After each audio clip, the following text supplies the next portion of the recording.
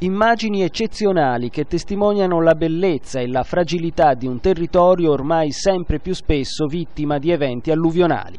Sono state girate in occasione del sopralluogo aereo organizzato dai tecnici dell'Unione dei Comuni della Mediavalle e del Consorzio di Bonifica, accompagnati dal sindaco di Coreglia, Valerio Amadei, che su un elicottero della Rotowork hanno sorvolato le zone della Valle del Serchio interessate dai movimenti franosi degli ultimi giorni.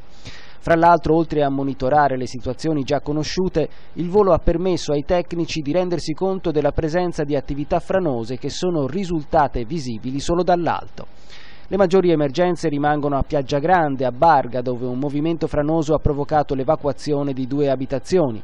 A Coreglia, dove le frane stanno provocando il rischio di isolamento della frazione di Tereglio, circa 300 persone, ma stanno affrontando forti disagi anche i residenti nelle località di Piastroso, Vitiana e Ferriera. E rimangono anche le emergenze nei comuni di Molazzana e Pieve Fosciana. Il governo deve tornare ad investire sul territorio, ha detto al termine il presidente dell'Unione dei Comuni della Mediavalle, Nicola Boggi. I comuni ormai da tempo sono costretti a utilizzare per le emergenze i fondi che dovrebbero servire alla manutenzione del territorio. In questa situazione non è più possibile programmare nessuna strategia di prevenzione, ha concluso Boggi. Lo Stato deve rendersene conto.